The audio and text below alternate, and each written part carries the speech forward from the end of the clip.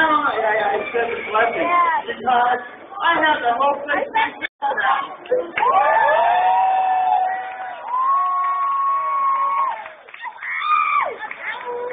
Also get my book.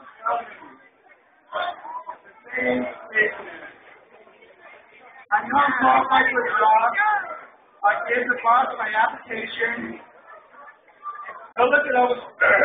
Well, I see you're quite qualified for the job. Uh, what are those thumbs in your body? All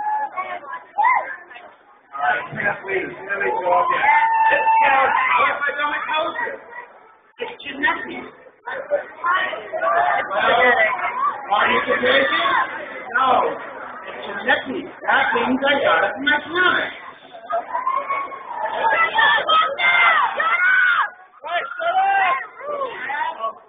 Huh?